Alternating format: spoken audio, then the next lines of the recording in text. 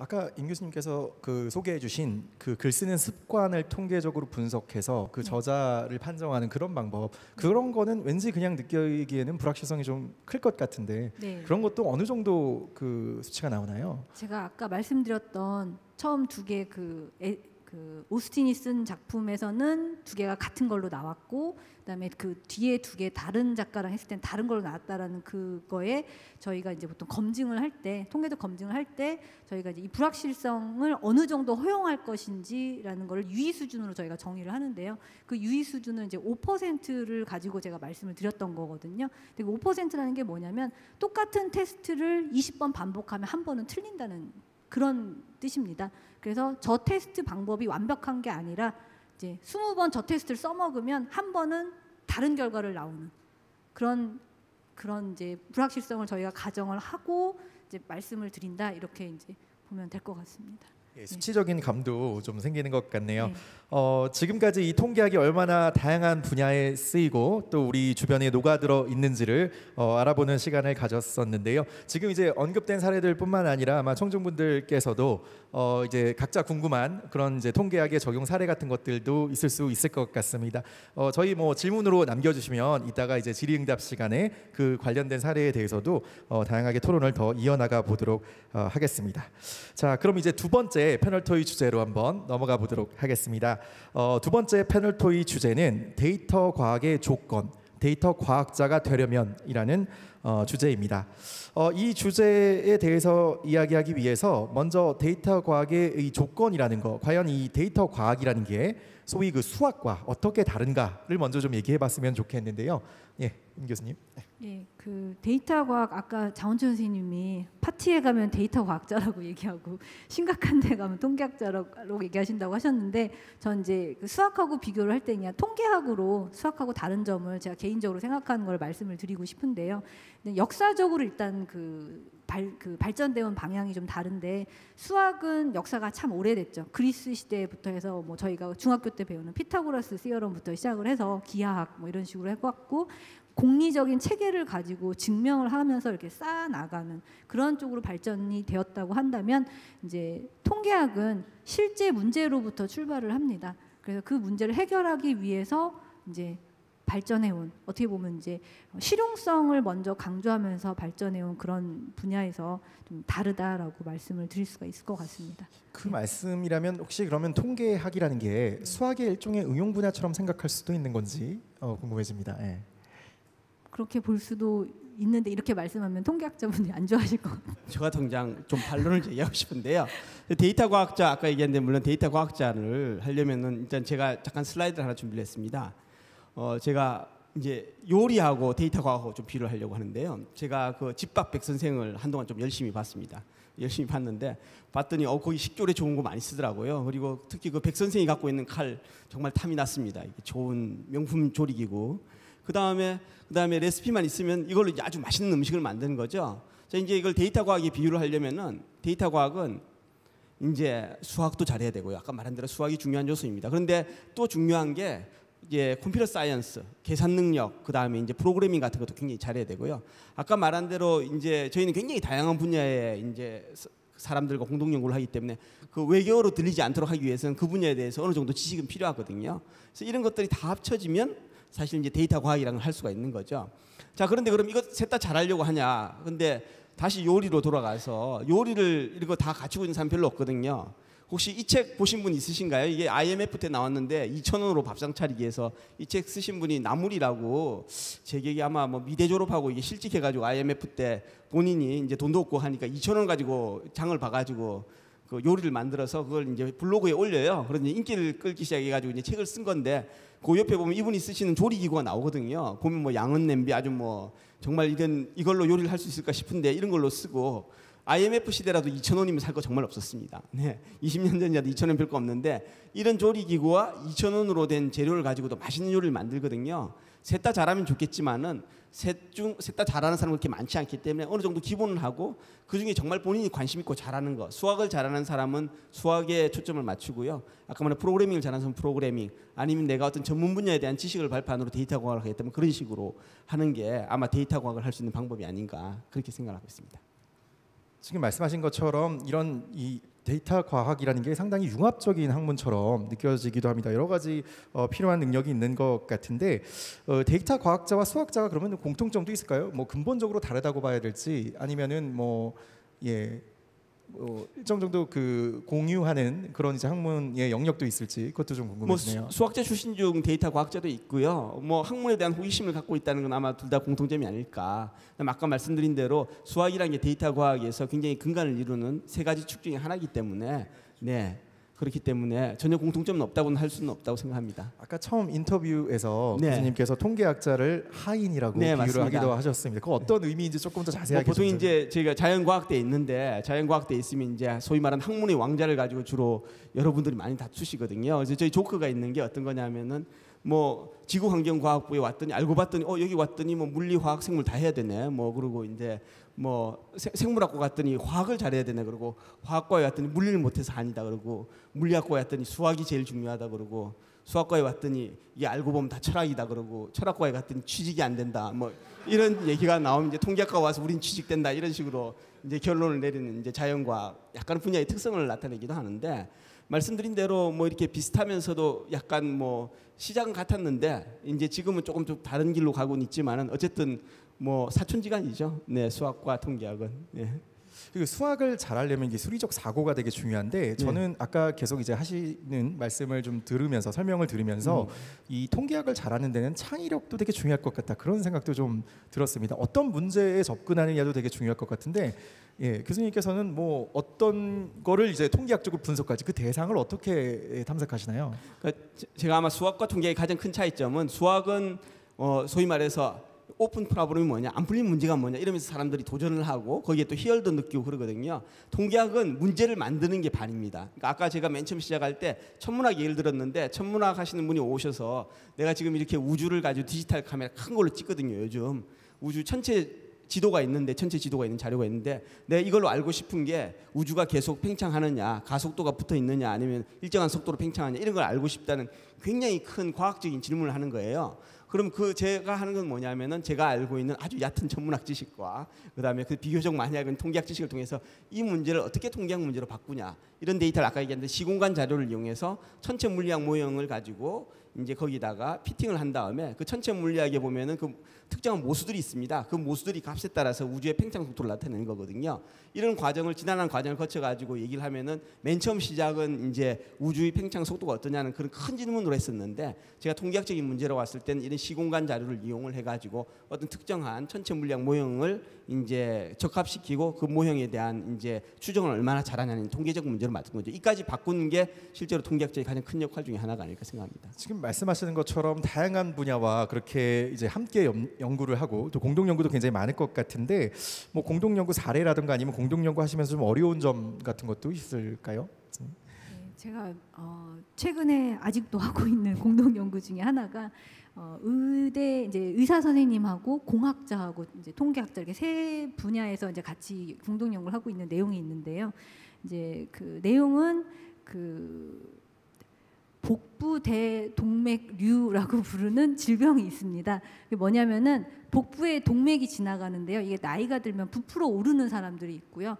이 부풀어 올라서 어느 순간이 되면 이게 터집니다. 근데 이게 작은 혈관이 아니라 큰 동맥이기 때문에 터지면 바로 거의 죽거든요. 그래서 되게 위험한 질병이라서 이게 어떻게 팽창되는지를 미리 예측을 해서 그게 어느 일정 이상이 넘어가면 수술을 해서 이제 스텐트를 삽입하는 수술을 하게 되어 있는데 이거를 이제 공학자분이 의사에서 이제 CT 이미지를 환자를 받아가지고 그거를 수학적으로 모델링을 하고 계셨거든요. 근데 그 정보를 그대로 이용한 건 아니고 이제 수학 쪽에서 모델링을 하는 경우에 이제 편미분 방정식으로 결국 모델링을 하게 되는데 그렇게 하다가 이제 궁금한 게 이 CT 이미지로 이제 일부 정보 어떻게 shape이 될 거다라는 걸 편미분 방정식 풀긴 하는데 이 데이터가 계속 들어오니까 뭐 6개월 한 번씩 방문하면서 데이터가 쌓이거든요.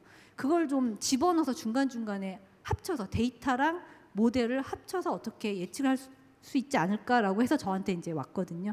그래서 이제 그거를 이제 저희가 이제 베이지안 칼리브레이션이라는 방법을 가지고 이제 그거를 적 이게 하- 그 이제 합쳐서 이제 하고 있는데 처음에 제가 그 모델링 방법을 설명하는데 정말 힘들었고요. 그분들이 이제 이해를 하고 아 그거 될 만 하니까 우리 쓰겠다라고 이해시키는데 오래 걸렸고 또 하나는 그 CT 이미지에서 실제로 제가 원하는 데이터를 뽑는 과정. 그 다음에 편미분 방정식을 풀어서 나오는 그 데이터를 얻는 과정에서 내가 제가 원하는 데이터 형태를 받아내게끔 설명하고 설득시키는데 상당히 오래 걸렸습니다. 네. 지금 말씀하신 사례는 사실은 이제 통계적 분석이 필요하니까 어떻게 보면 네. 연락을 받으신 사례 같은데 네. 그 통계학자가 먼저 이제 어떤 특정 문제를 풀기 위해서 전문성을 가진 분을 찾아가는 경우도 많이 있나요? 도대체 주로 이제 누가 누구를 찾아오는 식으로 공동 연구가 이루어지나요? 뭐 상호 왔다 갔다 하는데 아까 제가 그 조선왕조 실록은 제가 국사학과 교수님 찾아갔죠. 와가지고 제가 다 볼 수는 없으니까 국사학과 교수님한테 뭔가를 물어보면은 제가 요즘 또 하고 있는 게 이제 미술사 관련된 걸 조금 연구를 하고 있는데 이제 아까 얘기한 그 아트 갤러리에서 이미지를 받아와 가지고 어 이제 뭐 사조별이라든지 뭐 고호의 위작 같은 걸 가지고 실제로 색상 분석을 통해서 분석을 할 수 있는가 이런 걸 하는데 이것도 역시 이제 저희 짧은 그 미술사 지식 때문에 저희가 주문 자문을 구하고 있습니다. 이렇게 제가 찾아가는 경우도 있고요. 또 어떤 경우는 아까 얘기한 대로 본인들이 어떤 문제를 들고 와서 제 이제 방문을 두드리거나 전화를 하셔서 저한테 이런 걸 이제 같이 연구를 하자고 제안하시는 분도 있습니다. 아까 장원철 교수님께서는 통계학자가 하인이라고 표현하셨지만 비유하셨지만 왕인 것도 같습니다. 그런 면에서 뭐, 이, 뭐 월급을 많이 받는 하인.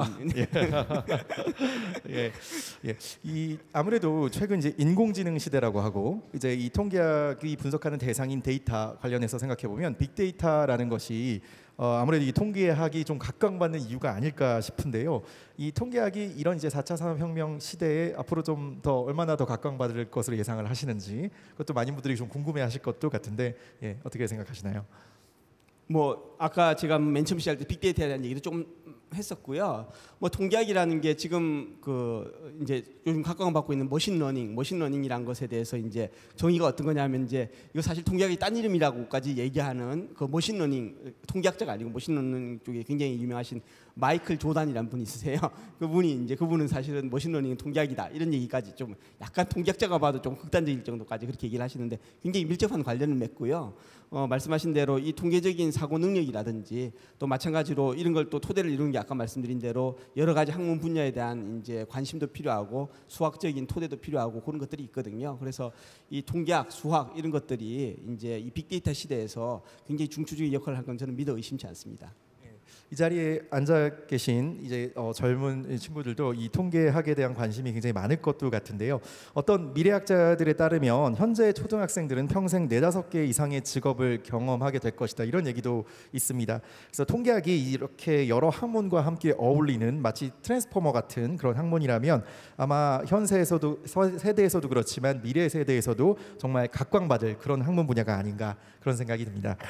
어 그럼 이제 또 다른 이제 이 세 번째 어, 패널 토의 주제로 넘어가 보도록 하겠습니다. 어, 오늘 준비된 세 번째 패널 토의 주제는 바로 예측과 오류입니다. 어, 우리나라가 아, 우리나라에서 이제 올해 6월 13일에 지방 선거를 앞두고 있습니다. 어, 아마 대중분들께서도 이 선거 예측이라는 것에 관심이 높을 것 같은데요. 교수님 이 선거 예측도 뭔가 통계학이랑 관련이 있을 것 같은데 주로 어떤 방법으로 이루어지는지 좀 소개를 부탁드릴게요. 네, 선거 예측에 대해서 제가 간단한 슬라이드를 좀 준비를 했는데요. 어, 뭐 선거 예측하면 이제 네이트 실버라고 미국에 아주 유명하신 분이 있죠. 그래서 이제 지금 이게 나온 거는 아주대학교 박형주 총장님께서 이제 선거 예측에 관해서 이제 네이트 실버를 소개하는 그런 이제 어그 기고문을 쓰신 건데요. 이 네이트 실버가 유명해진 거는 뭐 어쨌든 선거를 잘 맞춰서 유명해졌는데 2016년 미국 대선에서 네이트 실버가 처음으로 틀립니다. 그래서 이제 그러면서 인공지능하고 그다음에 어 우리나라에서 세종대 모 교수님께서 빅데이터로 이제 트럼프 승리를 맞췄다고 해가지고 굉장히 화두가 되거든요. 근데 이걸 정확히 이제 실상은 뭐냐면 이게 사실은 아- 이게 빅데이터가 맞춘 게 아닙니다. 제가 이런 기사가 여러 번 나와가지고 이게 잘못됐다는 걸 알리기 위해서 제가 사실은 글을 써고 어 우리 학생들한테 우리 대학교 학생들한테 제대로 알려져서 대학 신문에 제가 투고를 했어요. 투고를 해가지고 이제 그 다음 날 연락이 왔더라고요. 대학 신문사에서 이번 학교 어, 이번 학기 그 학부는 종간에서 3월달에 실어드릴 수 있겠습니다. 그래서 이- 아니 이게 지금 11월 달인데 3월 달이면 아무도 관심을 안 가지는 데서 제가 다시 또 투고를 했습니다. 다시 이제 한국일보에 투고를 했는데 실어주겠다고 연락이 왔더라고요. 근데 그러고 나서 한 달이 지났습니다. 한 달 후에 12월 달에 실어줬는데 그때는 이미 한국 대선에 모두 관심이 있어서 아무도 관심이 없어서 제가 이제 한국 일보에 제가 이제 선거 예측에 관련돼서 실었던 기고문은 아무도 읽지 않는 기고문이 됐습니다. 그런데 이제 그 내용을 그래서 제가 이번 기회에 요약해서 발표를 하면요. 무슨 내용이냐? 미국 대선 예측이 어디서 잘못됐냐면은 일단 네이터 실버는 빅데이터는 이용하지 않고 여러 가지 여론조사 기관에서 나온 걸 가지고 합쳐가지고 이제 통계적 모형을 합쳐가지고 예측을 했는데 굉장히 잘 맞았고요. 근데 인공지능과 구글 트렌드는 미국 대선을 제대로 예측했냐면 이게 중요한 게 미국 대선은 간접 선거거든요. 그러니까 직접 선거에서는 사실은 힐러리가 한 300만 빅입니다. 그 집과 파퓰러 보트라고 하죠. 전체 유권자 중에. 그래서 구글 트렌드가 예측을 하면은 사실은 이제 그 파퓰러 보트를 예측한 거라서 이게 말이 안 되거든요. 그 세종대 모 교수님 홈페이지에 가보면 파퓰러 보트 그 트럼프가 이긴다는 말을 본인이 써놓으셨어요. 근데 그 트럼프 당선이라고 얘기해서 이제 그 뒷부분만 얘기하면서 본인이 전문가라고 돌아다니시는데 어쨌든 그분 홈페이지 아직도 얼마 전까지 제가 확인했는데 트럼프가 파퓰러 보트 이긴다고 써 있습니다. 그러니까 이게 사실 예측이 정확하다는 건 뭐냐면 당선 유무가 아니라 실제로는 결과는 50대 49로 예를 들어서 트럼프가 이겼는데 제가 50대 49로 힐러리가 이겼다고 예상을 하면 1%밖에 틀린 게 아니거든요. 그런데 예를 들어서 임채영 교수님이 트럼프가 80대 20으로 이겼다면 엄청나게 틀린 건데 결과는 맞췄기 때문에 사람들이 생각하는 거는 임채영 교수님이 전문가고 저는 비전문가가 되는 거거든요. 물론 임채영 교수님 저보다 훨씬 더 전문가십니다. 근데 그렇기 때문에 우리가 어떤 예측이 맞다 틀리다고 할 때는 당선 유무가 아니라 다른 방법으로 그러니까 정확하게 이름 각 주의 득표율을 얼마나 잘 맞췄냐 그걸 비교했는데 그걸 비교해 보면은 여전히 네이터 실브가 제일 잘한 걸로 나옵니다. 그래서 네이터 실브가 여전히 승자다 그렇게 말씀을 드릴 수가 있고요. 그래서 뭐 사실 이런 게 꼭 선거 예측만 아니라 뭐 저희가 뭐 김정일 사망 예측, 나인원한 테러 징후 이런 거 얘기했을 때 뭐 김정일 사망 예측한 역술가들은 정말 잘 맞췄냐? 아니면 나인원한 테러가 터졌을 때 이게 테러에 관한 정보가 뭐 다섯 건 여섯 건 있었는데 어떻게 이걸 미스했냐 막 말이 많았거든요. 얘기 안 한 게 있는데 뭐냐면은 이 역술가들이 얼마나 틀린 것 예측을 많이 했느냐 그 얘기가 없고요. 나인원한 테러 터졌을 때 FBI에 얼마나 틀린 소위 말하는 폴스 알람이 많이 왔냐. 하루에 아마 몇백 건씩 테러가 터진다는 정보가 올 겁니다. 이 중에 진짜를 골라야 되거든요. 건초더미에서 반을 찾기인데 지금 반을 다섯 개 있다는 얘기만 하지만 그게 건초더미에 던져 있다는 얘기를 안 한 겁니다. 그래서 굉장히 어렵다는 얘기죠. 선거 예측도 마찬가지고. 그래서 요건 마지막으로 저이그 한국에도 이제 한국판 네이트 실버가 저랑 같이 공동 연구를 많이 하는 저희 그 서울대학교 정치외교학부의 박종희 교수님이 있습니다. 2012년 선거 때 여러 가지 한국의 그 여론조사 기관들을 이제 결과를 합쳐가지고 예측을 했었고요. 안타까운 게 한국은 그 여론조사 금지 기관 공포 금지 기관이 있어가지고 그 부분에서 예측을 좀 하기가 힘들었다고 하더라고요. 그래서 일단은 2012년 선거 때는 이런 걸 했고 한국에서 이렇게 선거 예측에 대해서는 다양한 분들이 여러 가지로 노력을 하고 계십니다.